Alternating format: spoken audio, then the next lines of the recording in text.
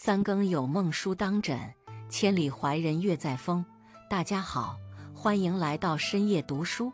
我们常常对那些自律的人充满羡慕，以为他们生来就具备强大的自我管控能力，能够不被手机所迷惑，也不会毫无节制地吃零食，仿佛是被上天选中的幸运儿。然而，现实情况是，就连马斯克都曾表明。自律并非依靠坚持，而是依赖替代。简单来讲，若要戒掉那些带来短暂快乐却有害的行为，就必须先找到能让自己更快乐的事物来取而代之。什么是垃圾快乐呢？所谓垃圾快乐，是指那些只会让你在当下获得愉悦，过后却追悔莫及的事情。例如，毫无节制地刷短视频。狼吞虎咽地吃高糖零食，以及躺在床上追剧直至深夜。每当你做这些事情时，大脑会分泌多巴胺，使你获得极大的满足感。可是，一旦结束，你就会发现时间被白白浪费，任务没有完成，体重可能还增加了几斤。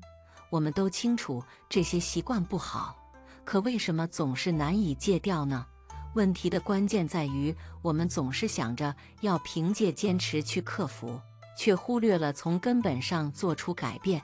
实际上，我们真正需要的不是与自己的欲望相对抗，而是去探寻更好的替代方法。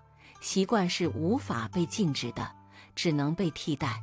很多人觉得要摆脱坏习惯，就必须依靠强大的意志力去压制自己，但事实上，习惯是一种经过长期形成的行为模式，不可能通过简单的禁止就消除。就好比你想戒掉吃零食的习惯，与其强行克制自己，不如将注意力转移到更健康的选择上，比如用坚果和无糖水果干来替代那些高热量的小零食。这样既能满足口腹之欲，又不会让你为体重问题而烦恼。同样，如果你发现自己总是手机不离手，不妨用阅读书籍、做手工艺或者散步等活动来替代。毕竟，手机上的短视频虽然能让你在短时间内放松，但当你沉浸在一个精彩的故事中，或者亲手完成一个小作品时，所获得的满足感和成就感远远超过了短暂的屏幕快乐。我们追求垃圾快乐，是因为它们来得太过容易和迅速；而健康快乐则需要我们花费心思和时间去培养。不过，健康快乐所带来的回报更加持久和真实。在替代习惯的过程中，不要对自己过于苛刻。任何改变都需要时间，偶尔的放纵也是人之常情。关键是，当你意识到自己又陷入垃圾快乐时，能够及时调整过来。比如，今天多吃了几块蛋糕，不要因为自责而放弃健身计划，而是要告诉自己，明天加倍努力就好。要把需要做的事情变成自己想做的事情。提到自律，很多人马上会联想到逼迫自己咬牙坚持。认为自律就是要和自己的惰性做斗争，是要强迫自己去做那些根本不想做的事情。其实，自律的目的并不是为了让自己痛苦地完成任务，而是要学会把需要做的事情转化为愿意做的事情。用一个大家都熟悉的例子来说，我们总是被教导要早起，但很少有人真正享受早起的过程。大多数人的早晨是被闹钟声强行唤醒的，然后拖着沉重的身体开始新的一天。但是，当你把早起看作是给自己多出一段宁静的独处时光，而不是仅仅作为一项任务时，你可能会发现早起并不是一件可怕的事情。你可以利用这段时间做一些自己喜欢的事情。比如泡一杯咖啡，读几页喜欢的书，甚至只是静静地享受一下清晨的阳光。这些小确幸其实都是早起带来的意外收获。当你把早起看作是给自己多了一段独处和享受的时间，而不仅仅是为了完成任务时，这一天的开始就充满了期待和意义。你的早起从此不再是为了要做，而是变成了一种享受生活的想做。所以，自律的关键不在于对自己有多严格，而在于能否找到那些让自己心甘情愿去做的理由。就像学习语言，有些人是为了工作，有些人是为了旅行，而有些人则是为了喜欢看原版的影视剧。无论动机是什么，只要找到自己喜欢的角度去看待这件事，它就不再是枯燥的任务，而是变成了有趣的探索。一嗑瓜子效应，用微习惯撬动大变化。你是否有过这样的经历？一旦嗑了第一颗瓜子，就会一颗接一颗，根本停不下来。即便告诉自己再嗑几颗就停，手却依然无法控制。这就是所谓的嗑瓜子效应。它看似是瓜子具有某种特殊魔力，然而实际上其背后隐藏着一个有关自律的真理：自律并非要一次性达到极致。而是从那些微不足道的小事起步，让良好的习惯逐步积累，最终演变成能够改变人生的大事。很多人一提到自律，脑海中就会浮现出诸如一年减重二十斤、每天跑步十公里、戒掉所有不健康食品之类的宏大目标。这些目标听起来确实很励志，但却令人望而却步。因为他们显得过于庞大和遥远，让人连开始的勇气都没有。但实际上，自律的奥秘就潜藏在日常的小细节中，比如每天少喝一杯奶茶，或者每晚早睡半小时。这些看似微小的改变，却能在不知不觉中汇聚成巨大的效果，就像嗑瓜子一样，从第一颗开始。不知不觉，一袋瓜子就嗑完了。整个过程无需强迫自己，自然而然就完成了。嗑瓜子效应告诉我们一个简单的道理：不要企图一步登天，而是要先迈出那一小步。不要急于求成，不要给自己施加过大的压力，要从最小的改变做起。也许在某个阶段，当你回首往事时，会发现自己已经走了很远。二、增加阻力，远离诱惑。我们都深知戒掉坏习惯是极其困难的，就像走在沙滩上，明明知道前面是海滩烧烤，却总是忍不住一步步靠近。这种明知不可为而为之的感觉，简直是坏习惯的最佳写照。想要改变这种状况，其实有一个小妙招。那就是给自己设置一些障碍，例如，若想戒掉嗑瓜子的习惯，可以直接把瓜子袋子用胶带封好，这样每次想吃的时候，就需要先去找剪刀，增加了阻力。你会发现坏习惯就不那么容易犯了。再想象一下，你决定晚上不刷手机，结果刚躺下。手就不由自主地滑向某个短视频平台，一开始刷就是一个小时，手机屏幕就像闪烁的夜视霓虹灯，每个 app 都像是一个诱人的小陷阱。解决这个问题的方法很简单，就是增加阻力，把那些容易让人上瘾的娱乐软件移到一个很深的文件夹里，再给它取一个繁琐的名字，比如税务申报工具。看到这个名字就让人望而却步，你甚至可以设置一个复杂的密码，这样每次想刷的时候就需要多花几步操作。这些步骤虽然看起来不多，但却足以让你多思考几秒钟，从而避免自己继续沉迷。另外，零食也是很多人难以抗拒的诱惑，那些甜的、高热量的零食。总是在最不该出现的时候出现在桌子上，那么如何应对这些坏习惯的元凶呢？不要试图单纯依靠意志力去完全拒绝它们，这太难了。不如借助环境的力量来帮忙，比如把零食放在一个你够不到的高处，甚至是顶柜里。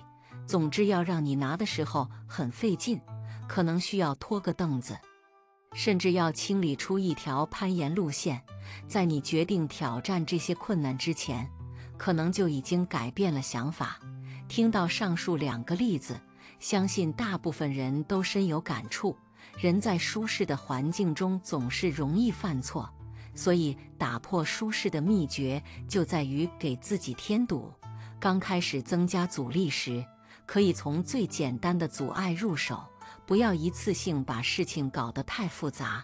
比如，只是把零食放到柜子里，而不是一下子把所有零食都扔掉。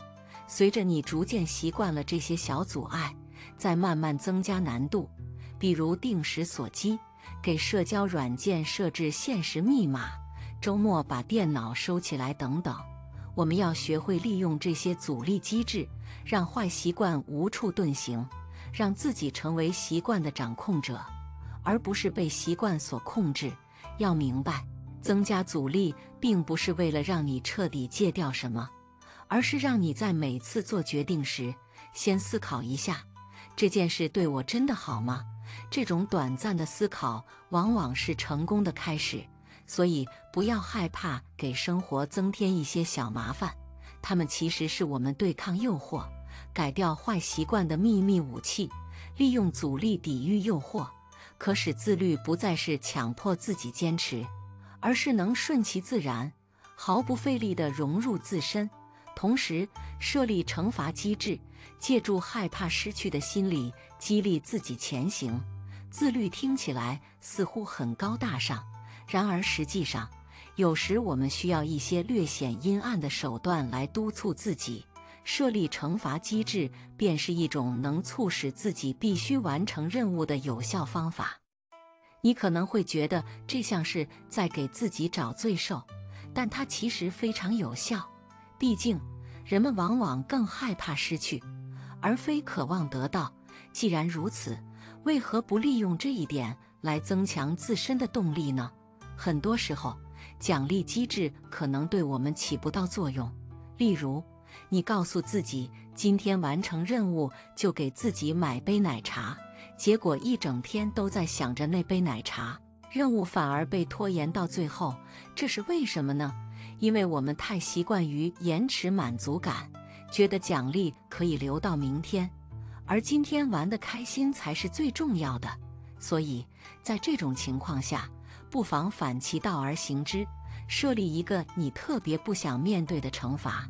比如，如果没完成任务，就要给你最不喜欢的组织捐款，或者是你不支持的政党，又或者是你觉得无聊至极的娱乐项目，这样。每当你想偷懒时，一想到那笔钱会落入敌人的口袋，你可能就会立刻打起精神来。人性就是如此奇妙，哪怕是自己的钱放错了地方，都会让人感到血压飙升。设立惩罚机制的核心在于利用害怕失去的心理来推动自己行动，因为人的天性是趋利避害，奖励带来的满足感。有时并不如惩罚带来的痛苦更能激发行动力，所以若想真正做成一件事，就要给自己找一个害怕失去的理由。就像那句古话说的：“要打蛇打七寸。”惩罚机制就是要精准地打击我们的软肋，明知会疼，我们自然会想尽办法避开它，最终任务就能顺利完成，自律也就得以实现。当然，惩罚机制并非是固定不变的，它需要依据个人的个性和喜好进行灵活调整。有些人觉得金钱的惩罚力度最大，而有些人则会因社交羞耻感而更有动力。你可以尝试不同的惩罚方式，看看哪种对自己最有效，然后将其作为日常督促自己的得力助手。想象一下。每当你想偷懒时，就脑补一下惩罚的画面，看着讨厌的组织收了你的钱，想想自己在朋友面前出丑，或者一想到自己还要加班补回任务量，那种疼痛感自然会促使你拿起手边的工作。虽然听起来有点自虐，但不得不承认，这种方式对懒癌患者来说简直是救命良方。当然，我们也不能让自己一直处于压力巨大的状态，毕竟我们还需要正向激励。所以在设立惩罚机制的同时，可以考虑搭配一个救赎机制。例如，如果一周内你达成了所有目标，就可以抵消一次惩罚。这样，你不仅有动力避免惩罚。还能用达成的目标换取奖励，惩罚与救赎相辅相成，让我们在害怕失去和期待得到之间找到了完美的平衡点。这种方式使自律不再是枯燥的坚持，而是一场有规则、有目标的游戏，让每一天的行动都有了明确的意义。三，不要让坏朋友破坏你的计划。你是否曾经信誓旦旦地告诉自己要早睡早起，却总是在好友的再聊五分钟中彻夜未眠？或者你刚决定要健康饮食，结果却被朋友一通电话拖进烧烤摊，啤酒和肉串轮番上桌？这时你可能会自我安慰说：“人嘛，偶尔放松一下也没关系。”但这些偶尔的背后，往往隐藏着坏朋友对我们自律的巨大破坏作用。首先，若要自律，就必须先摆脱孤军奋战的心理。很多人觉得计划是自己的事，不想让别人知道，这其实是一种心理逃避。因为一旦你告诉全世界，你的目标就像立下军令状一样，没完成任务就意味着丢脸，这种社交压力会促使你更加坚持。所以，不要害羞，把你的计划告诉朋友和家人，让他们成为你的监督团队。甚至可以在社交媒体上宣布你的目标，无论是每天跑步五公里，还是一个月读完两本书。当所有人都知道你的目标时，那种被期待的压力会成为你坚持下去的强大动力。毕竟。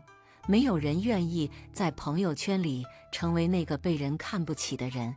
当然，除了让大家监督，你还要注意避开那些坏朋友。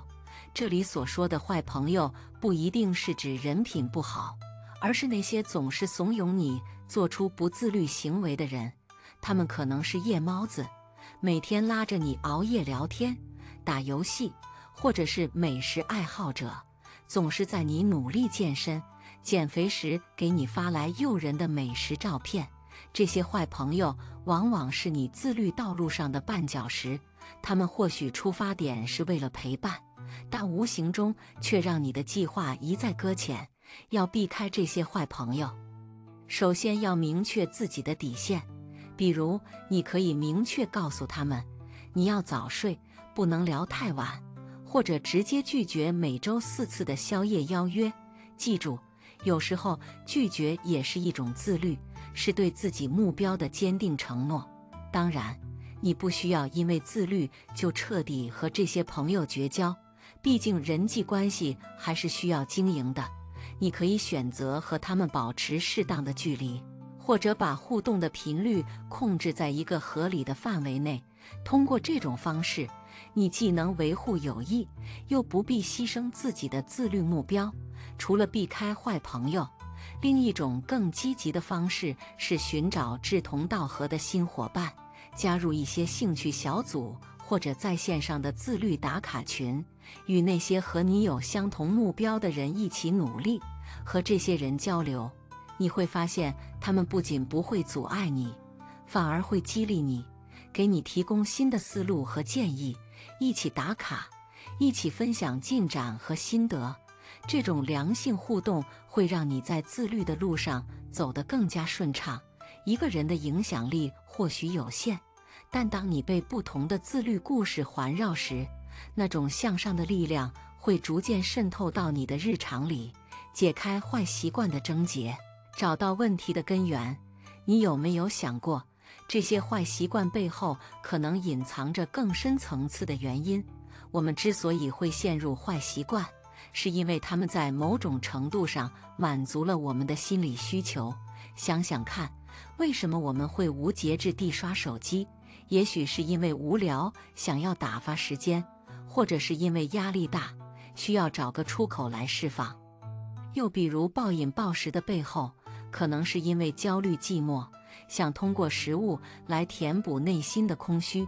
了解了这些，我们就不难发现，与其花费大量精力去戒掉坏习惯，不如先冷静下来，问问自己：我真正需要的是什么？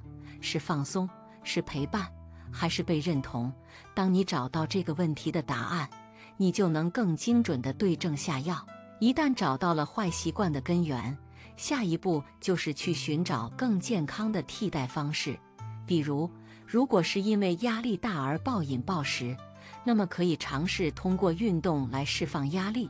另外，很多人都认为拖延是一种坏习惯，但实际上它往往是压力和焦虑的产物。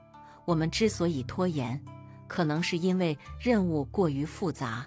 让我们感到无从下手，或者是因为害怕失败，索性就一直拖着不做。可见，坏习惯很多时候是我们逃避现实的一种方式。当你感到焦虑时，尝试去梳理这些情绪的来源，并且告诉自己这些情绪都是正常的。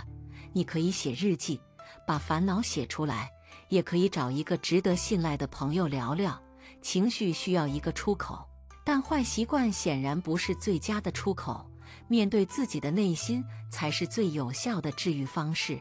很多坏习惯之所以难以改变，是因为他们已经成为了一种惯性思维。所以，当你意识到这一点，我相信你也可以放过自己，享受改变的每一步。